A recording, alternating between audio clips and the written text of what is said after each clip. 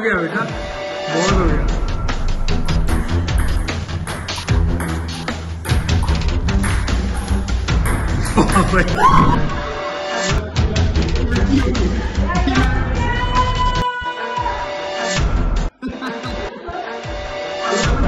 नमस्कार हेडलाइंस बिहार देख रहे हैं। मैं हूँ आपके साथ बिरजू सिंह।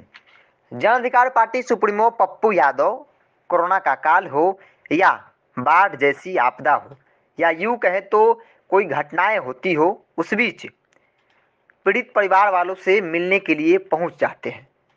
आप सबने देखी कि इस तरीके से जब कोरोना का लहर था, उस बीच पप्पू यादव की जो भूमिका थी, वो एक मसीहा के तौर पर देखे गए। चाहे कोरोना काल में रेमडेसिविर इंजेक्शन लोगों तक उपलब्ध कराने की बात हो, या हॉस्पिटल में एडमिट कराने की बात हो, तमाम चीज़ें आप लोगों को हम लगातार दिखाते रहे हैं। एक तस्वीर और देखिए, पप्पू यादव इन सबसे अलग, अब परिवार के साथ भी कुछ पल जो है वो बिता रहे हैं। हालाँकि अमूमन पप्पू यादव हमेशा पटना और बिहार के अलग अलग जिलों में ही रहते हैं। बहुत कम समय अपने परिवार वालों के साथ वो बिताते हैं। चूँकि कल उनका अट्ठाईसवीं सालगिरह थी, शादी की सालगिरह थी, उस मौके पर वो दिल्ली में है, अपने परिवार के साथ कुछ पल बिता रहे हैं।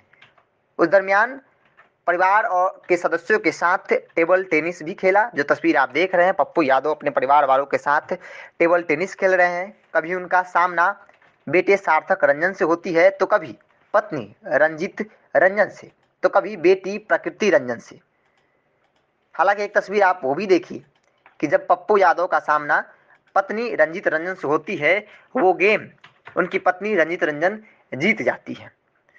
खैर, लेकिन ये तस्वीर आप देखिए, जो पप्पू यादव लगातार बिहार के अलग अलग जिलों में, यूँ कहें तो जहाँ कोई नहीं होता है, जिन, जिस व्यक्ति के साथ कोई खड़ा नहीं होता है, उसके साथ पप्पू यादव एक मसीहा के तौर पे खड़े होते हैं, चाहे आर्थिक मदद की बात हो, चाहे किसी भी ज़रूरत की बात हो, पप्पू यादव उनके साथ खड़े होते हैं। बहुत कम समय अपने परिवार वालों के साथ बिताते हैं। लेकिन एक तस्वीर देखिए, कल पप्पू यादव की सालगिरह की, शादी की सालगिरह थी। उस मौके पर पप्पू यादव दिल्ली में थे अपने परिवार के साथ। उन्होंने कुछ समय बिताया, वो भी तस्वीर हम आपको दिखा रहे हैं। टेबल टेनिस खेल रहे हैं, कभी बेटे के साथ तो कभी बेटी के साथ तो कभी धर्मपत्नी रंजीत रंजन के साथ।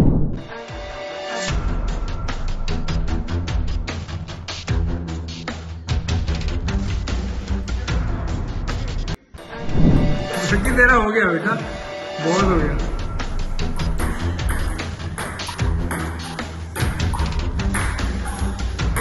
Oh my god.